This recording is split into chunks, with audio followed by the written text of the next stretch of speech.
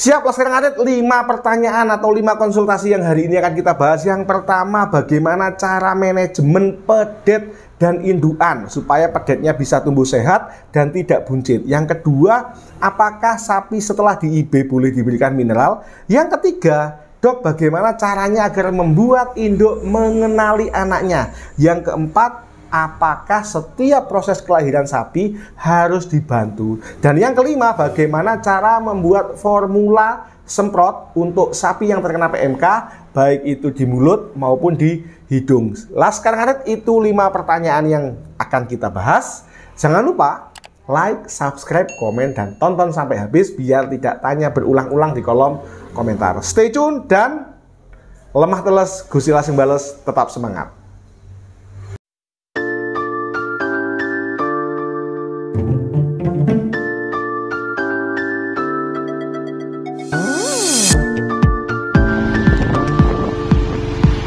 Itu materi yang hari ini akan kita bahas. Stay tune.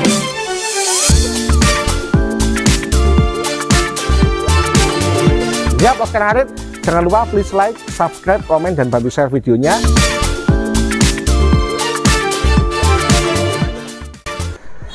Assalamualaikum, Laskar Harit beres-beres di mana pun Anda berada Jumpa lagi dengan saya Dr. Dewan Risa Di channel Youtube Sahabat Satwa TV Yang akan berbagi tips dan informasi Seputar hewan ternak Laskar Harit tetap menjawab pertanyaan dan konsultasi Laskar Ngarit yang sudah masuk di kolom komentar. Ada yang bertanya, Pak Dokter, gimana sih caranya supaya pertanyaannya dijawab? Yang pertama, dukung channel kami dong dengan subscribe.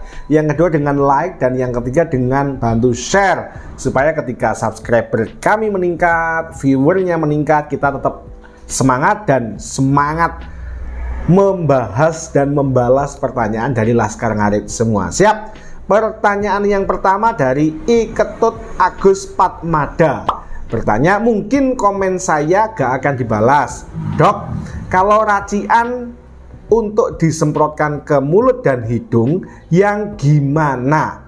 Nah, Iketut Agus Patmada ini sebenarnya bertanya pada video saya yang membahas tentang ramuan untuk PMK. Padahal di situ sudah kita bahas.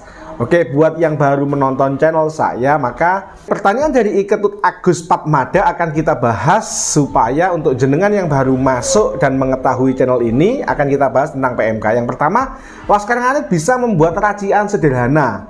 Yang pertama dari asam sitrat, Laskar Ngarit, asam sitrat atau citrun itu bisa jenengan buat uh, diencerkan satu banding satu, 30 gram ya dengan 30 ml air ya. Dengan larutkan lalu bisa dioleskan di rongga mulut maupun di rongga hidung.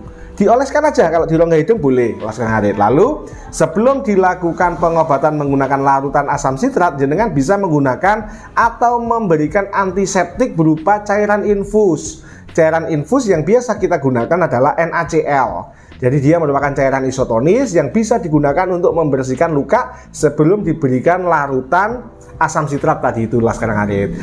Selain asam sitrat, uh, bisa juga menggunakan asam borat. Asam borat bahkan bisa, bisa digunakan untuk berbagai macam tujuan. Bisa mulai dari membersihkan luka di mulut, dioleskan di hidung, di lidah, untuk teracak, bahkan sampai digunakan untuk antiseptik kandang Laskar Ngarit. Lalu kalau yang alamiah, yang non bahan-bahan itu tadi, Laskar Ngarit bisa menggunakan jeruk.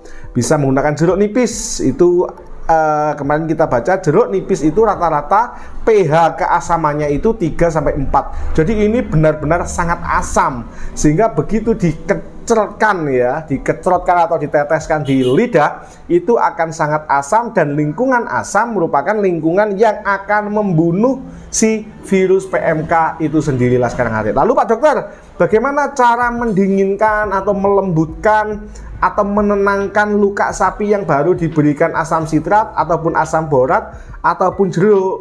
Boleh menggunakan madu asli lah sekarang hari karena madu asli selain mendinginkan madu asli juga bersifat sebagai antiseptik lah sekarang hari jadi bisa setelah dikecer pakai apa namanya uh, jeruk atau jeruk nipis ya bisa dioleskan menggunakan madu. Supaya secara insting pasti sapi akan menjilat dan meratakan di mulut. Itu fungsinya untuk mendinginkan. Kapan pemberiannya? Pemberiannya pemberian asam itu tadi, asam sitrat, asam borat maupun jeruk itu bisa dilakukan setiap pagi dan sore hari. Lalu antara pagi dan sore, ya, antara siang itu bisa diberikan madu untuk mendinginkan luka tersebut lah sekarang hari. Oke? Siap. Itu ya. Sudah tanya semprotkan ke mulut, eh, apakah boleh digunakan menggunakan semprotan? Boleh. Jadi larutan tadi setelah dibikin larutan asam sitrat maupun asam borat bisa jenengan saring, lah cairan yang ada sudah bersih bisa jenengan semprotkan, bisa juga jenengan uh, oleskan menggunakan kapas atau jari yang bersih lah Atau kalau jenengan bingung buka playlist saya playlist tentang wabah PMK di situ ada 25 lebih video yang sudah membahas tentang PMK dari awal kemunculannya sampai hari ini sekarang Arif. Siap Mas Iketut Agus Patmada semoga membantu. Nah ini beda tema ya. Pertanyaan yang kedua dari Basuki Basuki Arif. Bertanya kelahiran pedet apakah harus dibantu dok? Nah Mas Basuki banyak sekali ditemukan di lapangan lahir tiba-tiba procot. Nah, tidak ketahuan, pagi ketahuan tiba-tiba pedenya sudah lahir. Ada juga yang harus dibantu lah sekarang Arit. Jadi ditungguin oleh si peternak, bisa dibantu si peternak itu sendiri maupun dibantu dokter. Ini yang namanya distokia. Distokia adalah kesulitan proses melahirkan ya terutama di fase ketiga itu fase deliver yakni fase di mana pedet ini di pros ya bahasanya atau kontraksi untuk mengeluarkan pedet dari dalam lahir rahim melalui serviks, melalui pinggul, melalui vulva dan vagina sehingga si pedet ini keluar. Nah, distokia ini perlu ditunggu dan perlu dibantu.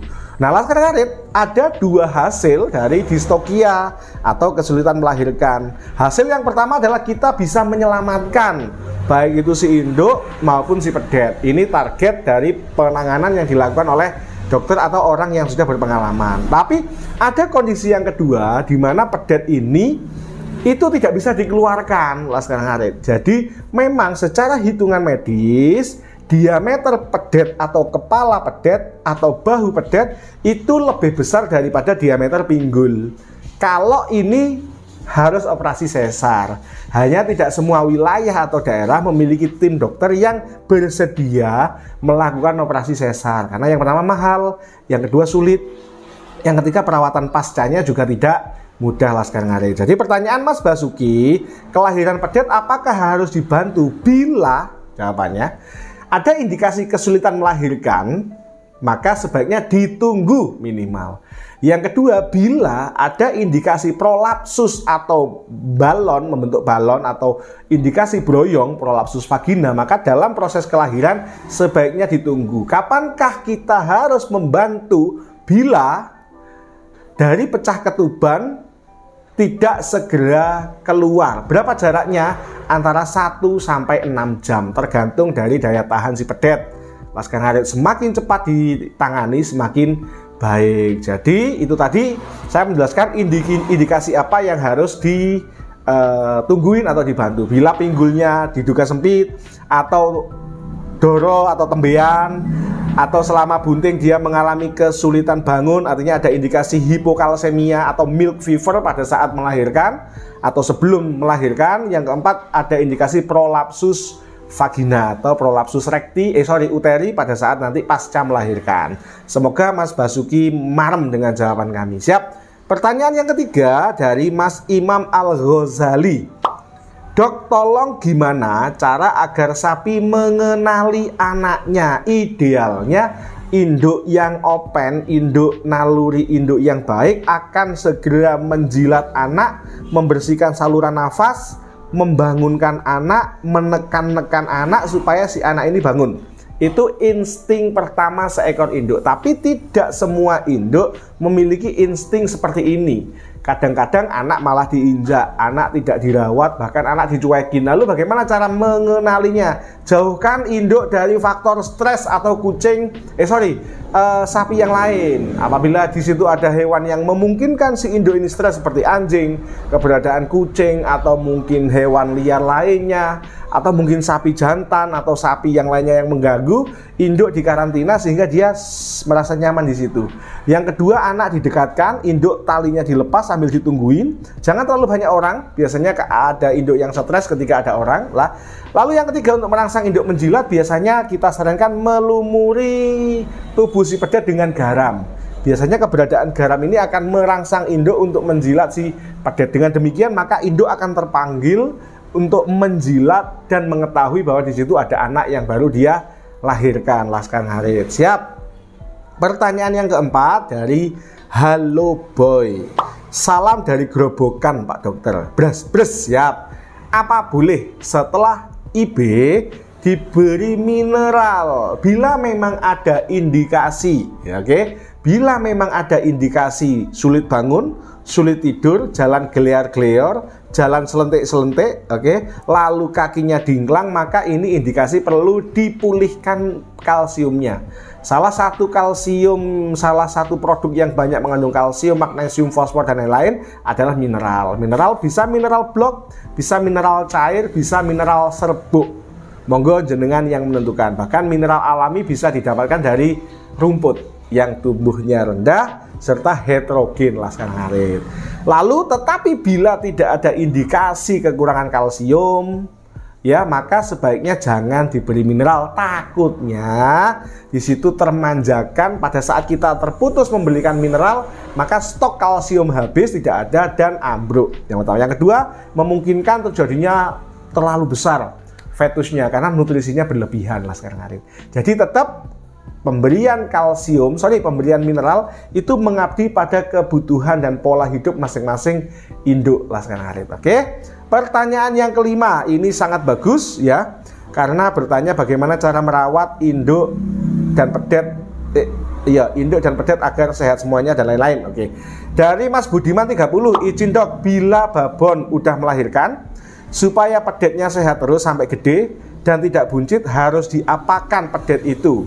Obat cacing setiap bulan apa gimana? Maaf dok minta penjelasannya. Oke siap akan kita bahas. Siap Mas Budiman ketika babon sudah melahirkan pedet apa yang harus dilakukan? Yang pertama pastikan babon merawat pedet secara bagus membersihkan saluran nafas, membangunkan pedet, menghangatkan pedet, dan pastikan tali pusar pedet tidak infeksi. Bagaimana cara memastikan tali pusar pedet tidak infeksi? Segera dihandle, bisa dijepit lalu dipotong, bisa diikat lalu dipotong, dan pastikan bersih. Bagaimana cara merawat tali pusar? Bisa menggunakan alkohol dengan uh, iodium atau betadin dengan tuangkan lalu pagi sore direndam biar cepat kering si tali pusar si pedet ini oke okay? yang kedua kapankah induk diberikan obat cacing induk boleh diberikan obat cacing saat pedet usia 2 minggu Pedet usia 2 minggu, induk diberikan obat cacing. Pedet usia satu bulan, pedet diberikan obat cacing. Oke, pedet usia 2 bulan boleh diulang. Jadi pengulangan obat cacing pada pedet ini variatif tergantung kebutuhan, tergantung pola pakan, dan tergantung keberanian dari si peternak pas sekarang hari. Ada yang memberikan berani 10 hari sekali, ada yang berani memberikan 14 hari sekali selama 4 kali pengulangan dari usia pedet satu bulan lah sekarang hari. Jadi seperti itu. Lalu biarkan pedet menyusu pada tiga hari pertama untuk mendapatkan kolostrum. Pada lima hari pertama kolostrum sudah mulai turun dan pada dua minggu pertama pastikan full air susu induk yang masuk ke tubuhnya si pedet. Lalu jangan terlalu buru-buru memberikan berbagai macam makanan pada si pedet karena usia 4 sampai 12 minggu lambungnya pedet masih lambung tunggal. Jadi masih lambung yang hanya bisa mencerna atau hanya bisa efektif mencerna air susu. Boleh makan konsentrat tapi memang konsentrat untuk sapi pedet. Sekarang hari. Oke, siap. Semoga lima pertanyaan tersebut bisa membawa kebaikan jawaban kami bisa diterima dan bisa menambah wawasan untuk jenengan semua. Jangan lupa lemah teles Gusti langsung balas tetap dukung channel kami dengan please like, subscribe, komen dan bantu share video-video kami. Matenun sekian wassalamualaikum warahmatullahi wabarakatuh. Sekarang ada beres-beres tetap semangat.